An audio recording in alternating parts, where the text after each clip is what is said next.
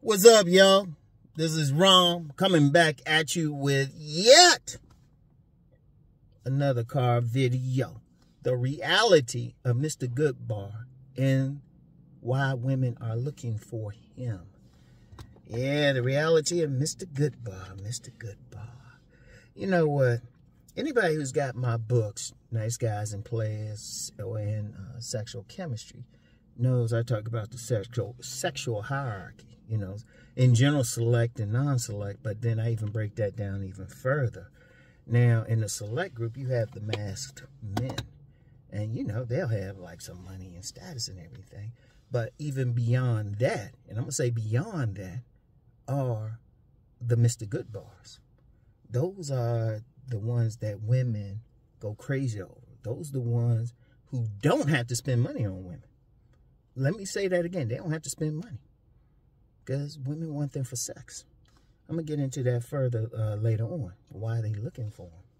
And you know that term, Mr. Goodbar. You know that that's that's old. That's not something. That's no recent shit. They were talking about that in the 70s because there was a book and movie looking for Mr. Goodbar. You know, and in that book and movie, you know, this woman, it's based on a real story, but this woman, she be cruising nightclubs looking for one night stands. But what's a one night stand? Sex. And I was thinking about that. I said, I got to discuss that because I still get some guys who say, you have to have money. You have to have money. Well, here's the thing. One, you got to have a whole lot of money. And then even then, you still got to have some looks. You still, you got to, you have to look good. You got to have some status. You can't just have money. Plenty of guys got money ain't getting that you gotta have like the looks, money, and status thing. I always said it works. I just said sex appeal is better. That's all I've ever said. I said that in my very, very first video. I said, yeah, you'll get something. And even then, it's still limited. But Mr. Goodbar, he gets everything. Indeed, I talk about the Goodbar Mystique in, in a on demand video. I'll put a link for it, the Goodbar Mystique. And I had a couple other uh, videos uh, focusing on Mr. Goodbar on demand. I'll, I'll put them all in the description box. But yeah, that's the term because women want them sexually. But a lot of guys don't seem to understand that. They think just money. They think just money. But see, here's the thing. I don't see how they don't understand. You got some guys out here, they ain't spending no money on women. And they getting some for those who be talking about Pookie and Ray Ray, these like street dudes and stuff, they got money? Shoot. Or you got, uh, shoot, even with the money thing, you got some women getting with some guys and shoot, they sponsoring those guys. Kept men. Kept men. Like the woman making all the money, they moving the woman in. I mean, uh, the man in. Because the women, shoot, they shoot, they got enough money. They shoot, they get them a, a boy toy or some dude. And shoot, I've seen that. I told you where I lived last time. This apartment, young lady above me. And she wasn't even really making money like that. Well, she was living in the same building I was. So she wasn't making money like that. Had that uh, five foot eight, muscular Dominican dude and annoying me being on the treadmill while she at work. But as soon as I I be in the bed, be trying to sleep, I knew exactly why he was there. All I do when I heard the springs upstairs, I was like, yeah, go ahead, make your money, dude. and shoot, I know some dudes like that now. The women sponsoring them. You know? And, you know, and let me just say, make it clear. I ain't saying I condone it even though I've been there before. But I don't condone it because every man should make money for himself. But this is just a reality. Shoot, this is just a reality. You just got a percentage of guys. Some dudes may call them Chad or Tyrone, whatever. At least they have a general understanding. Whatever the case, whatever term you want to use, I'll use Mr. Goodbar. In fact, uh, a woman even said it. Goodbar means good D. Boom. But the women, they just dealing with them for that. And yeah, they can be broke. Like somebody commented uh, the other day, like, nah, they ain't gonna mess with dude if he broke. if he ain't a good bar, yeah, he better have some money. He gonna have to do some. Hey, he gonna have to do some sponsorship. But if he a good bar, which means the women looking at him for the D, boom. That's all he. he that's all he had to give. They looking for him for the sex. And I'm gonna get more into that in a bit, even deeper, because a lot of guys don't get that part. But that's just the reality. Because okay, if it's all about you know, if you got to have all that money and stuff, okay, how, how are these teachers getting with these students? These students don't got no money. These students are like these male students they, they getting with. Because there's always a story of a woman hooking up with them, even getting pregnant by these guys. These guys don't got no damn money. These guys sleeping in the same bunk bed at home. Shoot. Most of these young guys can do is pay attention. Or oh, ain't got a stiff one for these for these women or they kept, or in fact, uh, even in marriage, because some people say, well, that's just sex. What about for a relationship? Well, I just saw a stat. And y'all can look this up yourselves. Uh, you know, Google is your friend. Look it up about women making, being married and making the most money. Now, the stat I saw was like, they said what? I think in what? It was from 20, 2021, about 30% of marriages have the woman making more money. Something like that. The number was 30%. 30% of uh, married women making more money than their husband. And indeed, even if their husband's working, they still making more. And then you got a lot of guys who kept guys.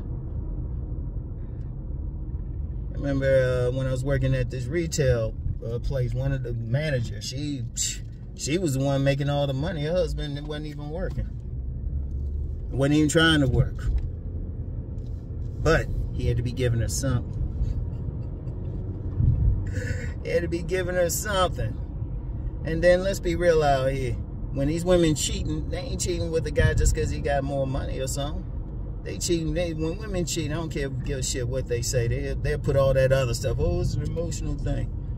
If they allow, if they got a husband or a boyfriend and they allow another man to penetrate them, it's about sex. And you got a lot of side pieces. Um, that's all they doing. A lot of maintenance men. Even if they ain't even if they ain't in a relationship, let's be real. A lot of women out here got a maintenance man.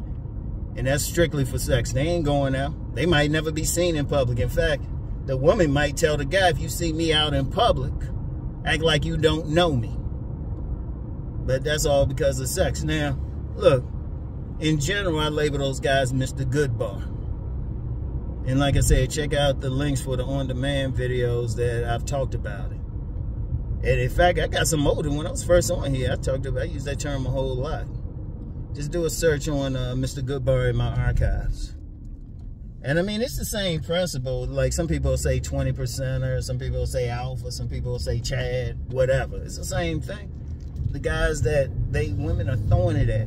But see, a lot of guys don't understand it. In fact, I remember, because people know about my book, Sexual Chemistry, where I go even deeper into Mr. Goodbar. I even got a whole chapter, right?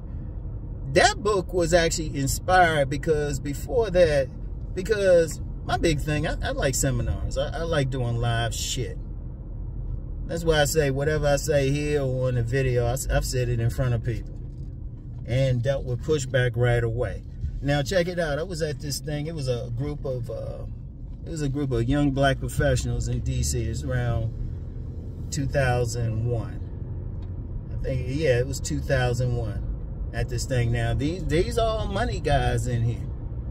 These were all money guys and professional women, professionals. So there no broke dudes in there. Now, first of all, it struck me that most of these professional men had trouble with the women.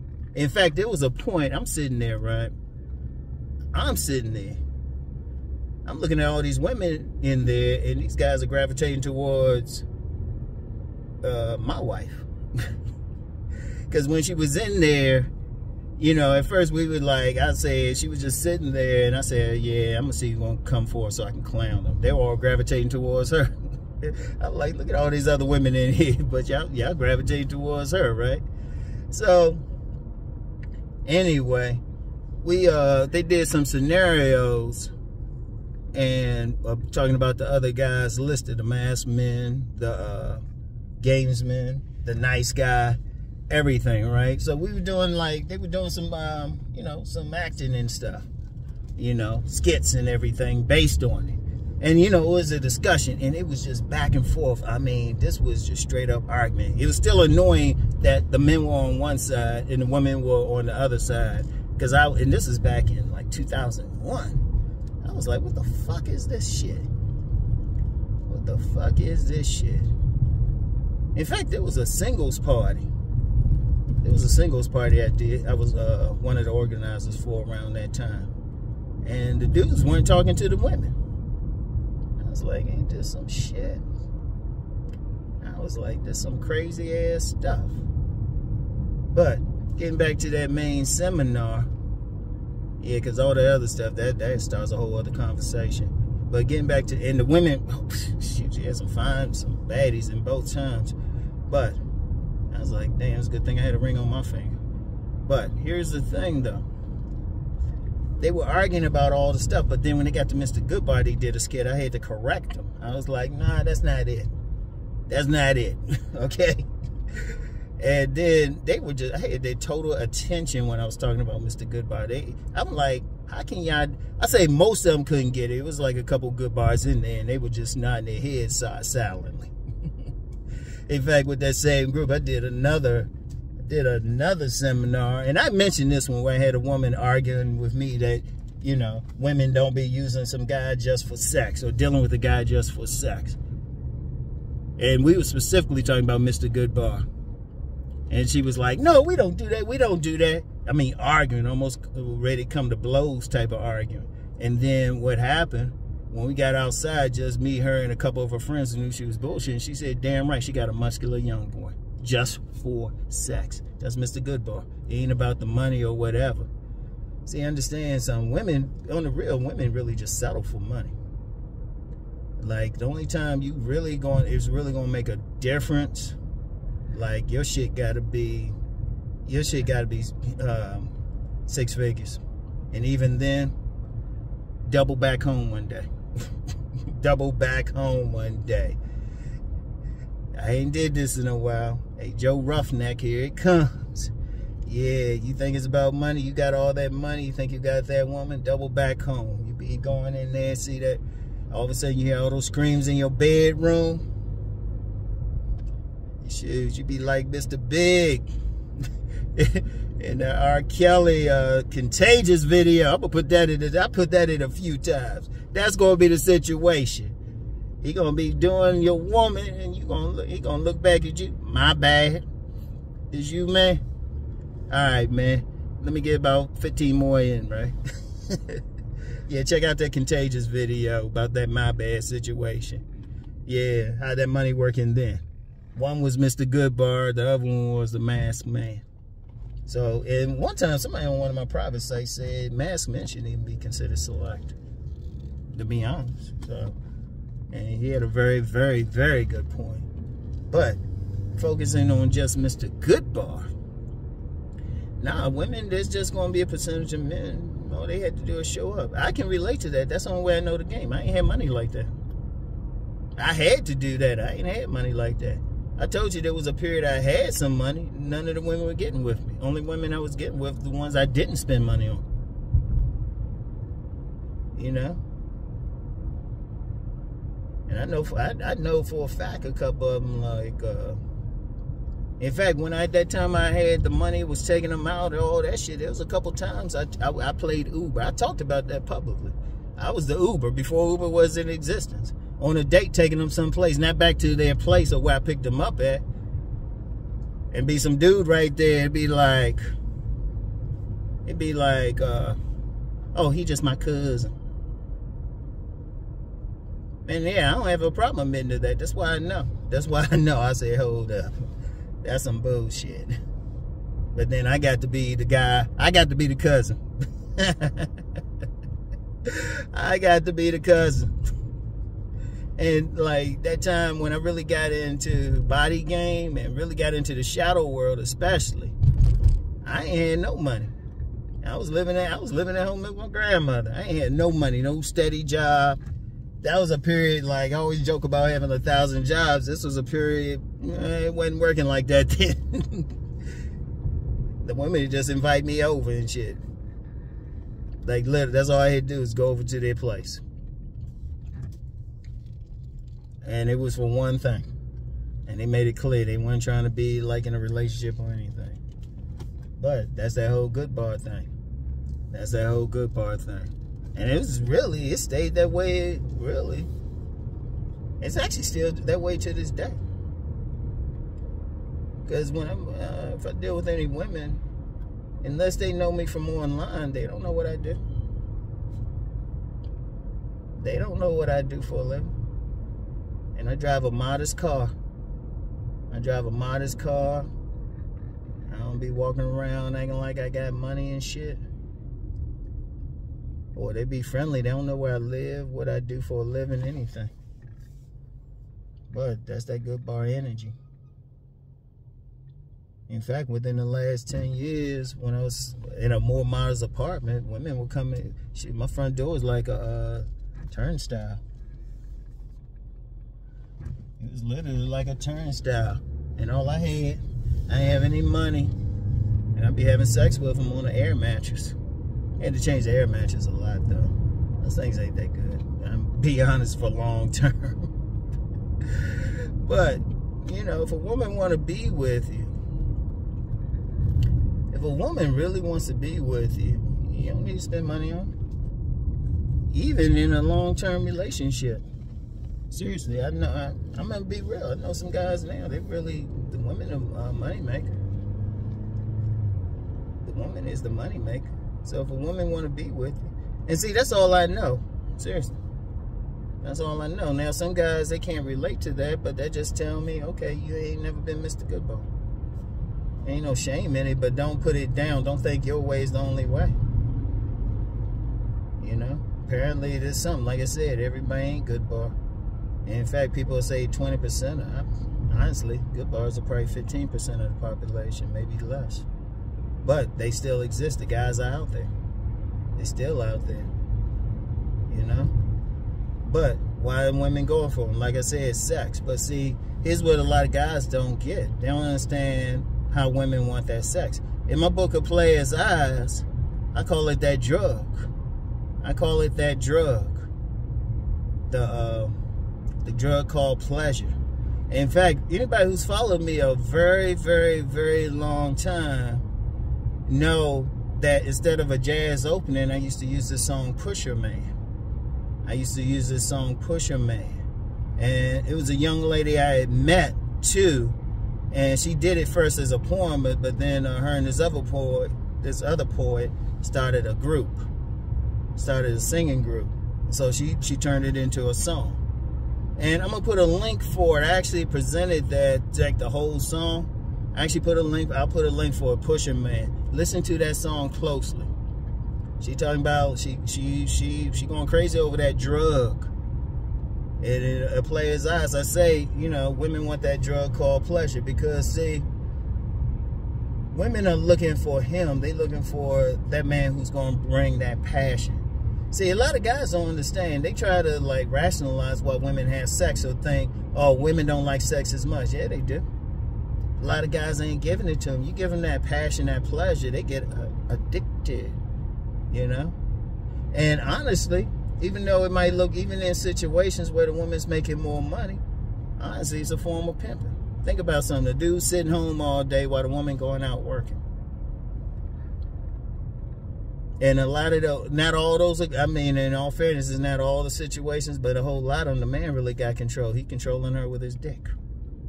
He is literally controlling. He don't have to work. Because even if he got her, he probably got another woman and stuff. Shit. Or you got some you got some guys, shoot, they got a whole crew of women. They don't even need they don't even need to have their own spot. I knew this guy like that. He just had different women to go dick down. You got a lot of guys doing that shit. That's a street hustle, really. You got some guys, they don't, they don't got shit to their own name, but they got a bunch of women they dicking down. Stay over here, get a meal, all of that, get some clothes from this one, get a little bit of money can drive, hey, can drive uh, one woman's car while she at work. You know? Shit, that's that's the thing. And they just giving them that passion. See, one of the things is a lot of guys got to understand. If y'all understand that one thing, they looking for pleasure. Yeah, they'll have sex with men, you know, they'll have they'll have the pity sex, they'll have the transactional sex, relationship sex, all of that, something to do sex. But then ultimately, they want that pleasure. They want to feel good. They want to holler. They want their toes to curl. They want to be singing in tongues. They want to make contact with the great pumpkin. I mean, they just want, hey, they just they just want it. Mr. Goodbar delivers the goods. He's a good bar. Seriously. He's like uh, my mentor, uh, Master Yao and Yamache Morris. He would say they want Mr. Goodbar because he's like rich chocolate. They want to indulge and he actually has control over the relationship because they they'll stay with him until he decides he wants to go. Like I said, there's definitely some exceptions where the woman has total control, but even then, not really total. Like I said, they they step out too. You know, because usually guys like that, women fighting over them, and the guys don't got a, they might not have a penny to their name.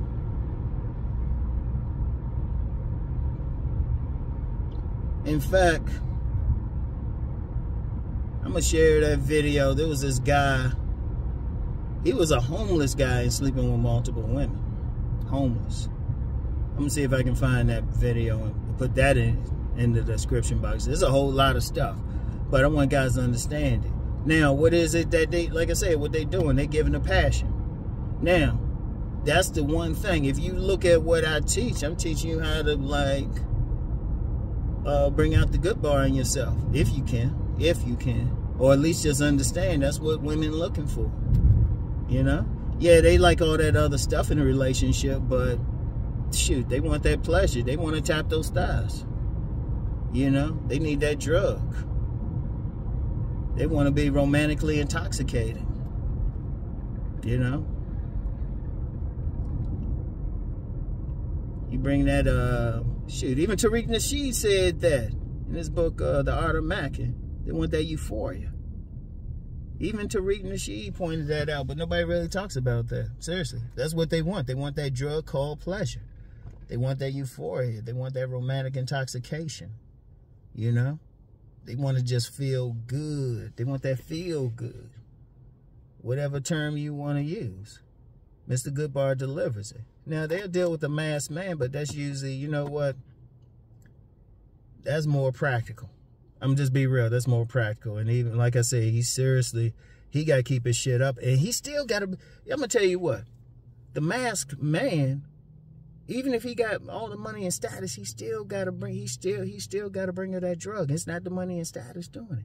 He's he got to have, he got to have just a little bit, like, like Mr. Goodbar got the pure drug. He got the pure uncut, you know. The masked man got that watered down thing. He got the watered down thing. It's decent, you know. One of the things with the uh, the gamesman might got just a tiny bit, just a tiny bit, like you know, like she just got no other options. And nice guys just don't have it. Period. Nice guys are just not turning the women on sexually. That's it. Now I know some guys get mad and be thinking all this other shit, but you got we got to deal with reality. Know, not the fantasy or like, oh, she should like you because you're a good guy and all that. You know, or you'll do this and that, or you know, you good with kids in the neighborhood. They can eh, respect that, but it don't get them wet. It don't get them wet. You know, it ain't getting them wet. Their, their vaginas ain't tingling. That's why they look for Mr. Goodbar. And if you talk, and in fact, you talk to a lot of women. I've talked to a lot of women. They'll meet some guy who will have all the stuff, all the other stuff.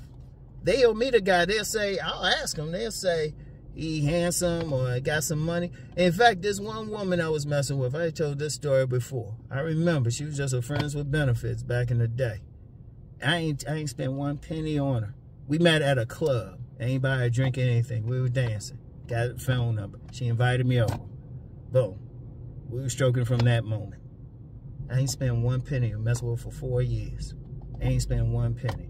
But I wasn't trying to lock her down. So she said she had met this guy. And she said he had money. He was handsome. Dressed nice. He had all that stuff. But she said she didn't feel a spark. Yeah, it sounds crazy to a man, but a spark is she just ain't turned on. I was turning her on. She was she she was going to pop every single time we had sex. Well, not every single time. She said about the first six times she ain't go pop. She told me. So I said, oh, okay. I got, I, I, I got, I, I, I got to give her the grind. After that, boom, couldn't get rid of him. Couldn't get rid of her. So I mean, that's the thing. That's the thing. You gotta, you gotta. That's what the women are looking for. And a lot of guys gotta understand that they want that pleasure. A lot of guys don't get it. They thinking all this other shit. Well, but hell, that's why you got some women. They making plenty of money. Or they'll get, they'll get that young guy. Hell, that's how you'll get some women. They marry and they'll start messing with that young guy who cutting the grass. Be like, hey, you want some water? No, you working real hard. Hey, that shirt is real wet. Why don't you take it off?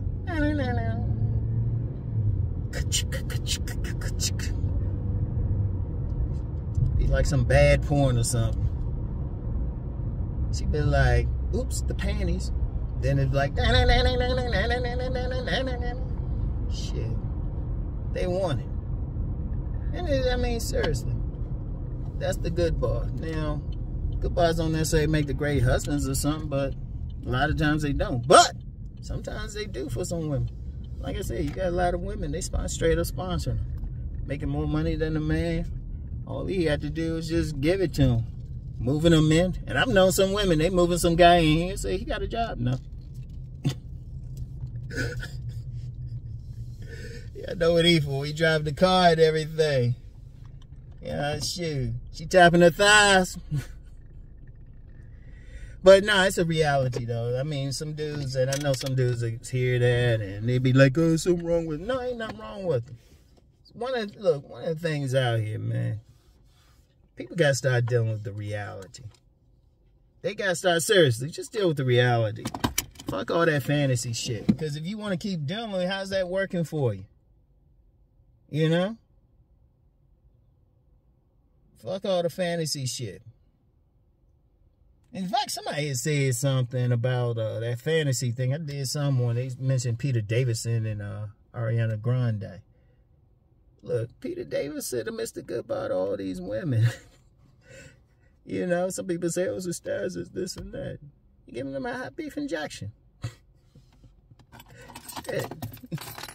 he giving these women a hot beef injection. So it's like, cause even that, cause even um, in fact, somebody commented and he said, yeah, they kind of they were kind of talking about that kind of inspired this video too. They mentioned some uh, musicians uh, that he considered ugly, right? But they turning on the women. Shit. That's why you got some dudes, yeah, got the ugly, sexy thing going. Because they turning on the women. Because the face is actually the least thing that'll turn on a woman sexually. But that dude, hey, that dude got in there. He wearing some gray sweatpants or something. oh, man. They, they ain't even looking up there. In fact, this dude who followed me on IG and stuff, man, he did some videos on YouTube, man. He do some Mel Exotic dancing now, man. The women be talking about his joint.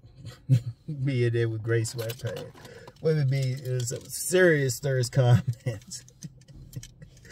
but that's all. It ain't nothing wrong. Look, let me be clear on it. Ain't nothing wrong with women. Look, if you understand woman's nature, their whole nature is pleasure. Their whole nature.